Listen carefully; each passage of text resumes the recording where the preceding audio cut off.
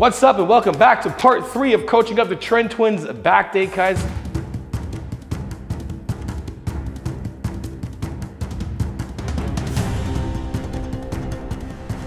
Today we're gonna break down single arm dumbbell rows. I see this done a lot of times. We're gonna break it down today and get it down right to the square, to the square. The we need. We're gonna get down to the root of things and fix these one arm, single arm, one arm unilateral, single lateral one arm rows with the dumbbell in your hand, single arm. Because I said it already, single arm. Just watch the video, learn some shit. Okay, let's jump into it. We're doing some single arm dumbbell rows. And like the Tren Twins, right here doing them like this, it's a very normal way to do them. Are, are they doing it wrong? No. Is, it, is there a wrong or right way of doing things?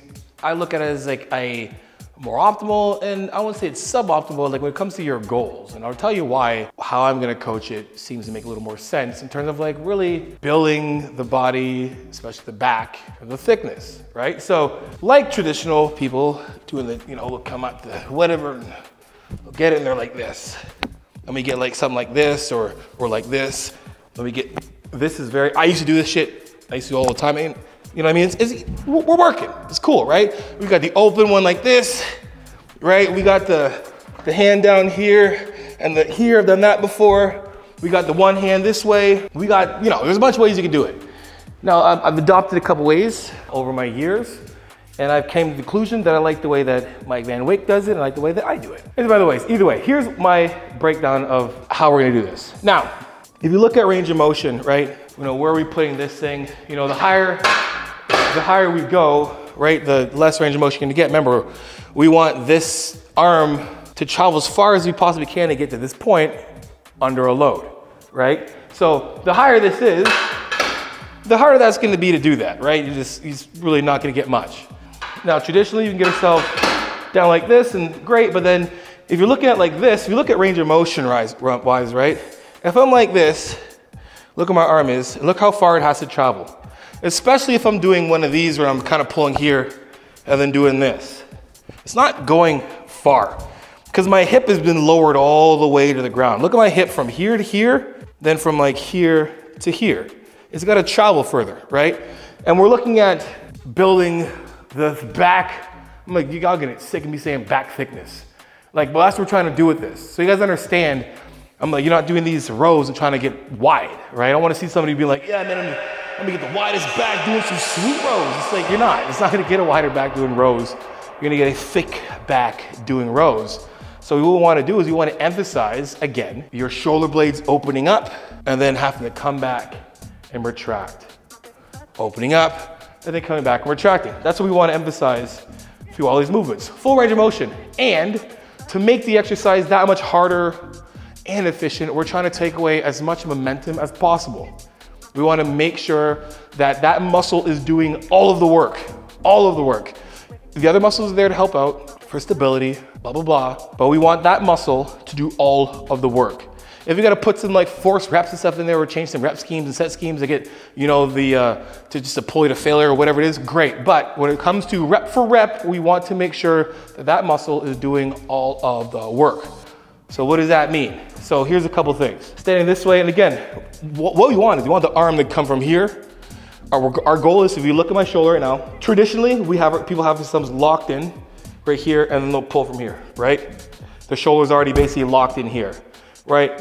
We, and then the range of motion isn't that great. We're just doing this. We're getting a nice little bicep pump and a little bit of low lats, low lat workout, boom, right?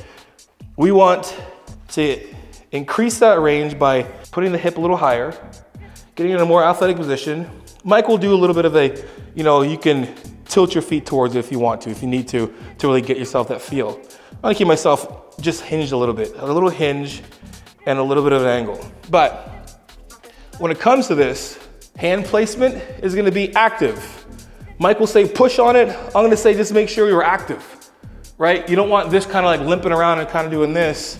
We also don't want you just really just like just too active up here and we're just really uh, just, just forcing this. This is terrible for your, for your shoulder. So being active here, like I wanna push into this so I'll have some stability from here. Regardless if you're from here, here, here, here, or here, we're locked in this way.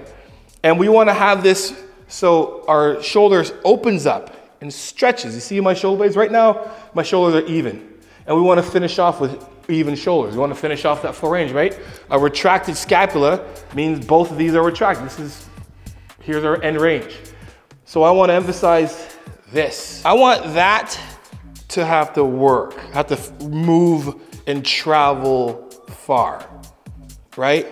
I want that to travel far, right? That's what I want to happen. And I wanna do that with as little momentum as humanly possible. So, how we're gonna do this, we're gonna set up to this bench, we're gonna get ourselves close enough so we're not reaching, right? We're gonna get ourselves here, we're gonna get ourselves back enough because, you know, if I'm sitting like this, there's not much, there's, we're not going anywhere, right? Range of motion is minimal. So I'm gonna set myself back enough where if I relax, see which room I have, I can just reach down and you see I'm fully protracted. I'm, I'm reaching like, I'm not just, I'm not just bending and going down like this. I'm here now, I'm literally reaching. You look at me, I'm reaching down to grab this, right? I'm gonna slightly turn myself in a little bit so I can, right, keep this close to my body because I don't want this thing to come out like this, right? I'm not trying to have it come over here and my elbows flare out. I wanna keep it nice and aligned where it comes just like this, right to the pocket, here and the pocket. And where I start is where it's gonna finish. So I don't want, like, I see a lot of times people trying to do this. They're trying to, I'm working my low lats. So I'm just gonna do this kind of like pull thing where I'm doing this weird thing here, which is just, just don't do it, right? And again, we just wanna be close enough to our body so when we pull, it comes right up, right? I'm not dodging anything. I'm not like trying to pull it this way or, or I don't know, or just stay like this. Get yourself in close enough. Have to be so wide. Obviously over exaggerated, but yourself nice and close. From here, twist, pressure here, active from your chest, holding the weight from here. When I pick the weight up, I'm gonna let it pull, let it, I'm gonna let it hang. So I get the full range. See my scap open up? Then from here it's pull and back down. Right, pulling, cracking the elbow, keep it close to my body. All open. I'm letting this thing hang. All at the bottom and letting it hang, right? And if you do this when you do dumbbell rows, I promise you, you're gonna feel, you're not gonna have to go here and, and do this to get the low lats or, or sit up high like this and, and wipe your arm like this for low lats you will feel your entire back working more efficiently, more effectively throughout the entire range of motion. For a little bit of like biology, muscle anatomy. Your back muscles, they attach right here. That's your hip. They come all the way up, hit some ribs and stuff, and then hit to your arm, and they basically, I can do this, pull my hip up like this, crunching down like this. This, it, it's like your entire back. So when I'm doing a row like this, where I'm elongating that range of motion, to hold myself in position, I can feel all of my hip engaged, all the way up to my lat. My lat's stretched all the way down. I'm still depressed, I'm not reaching here, it's right here, right? And then as soon as I pull, that shoulder's coming back. It's not going up here. I'm not doing this. It's going, it's shooting back.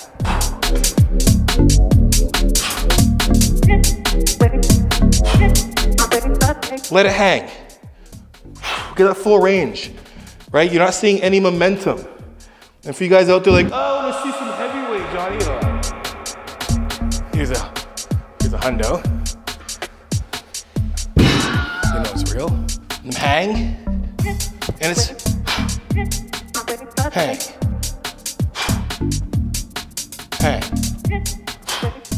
I don't care how heavy the weight gets, you control it. And as soon as you can't control it, oh, rest, pause, or oh, I'm gonna do a drop set. I'm gonna continue that great form because I'm gonna swear by that. And that's what's gonna get me to develop to have the best overall shape. So next time I get on stage, the judge is like, you gotta work on your back thickness. Right?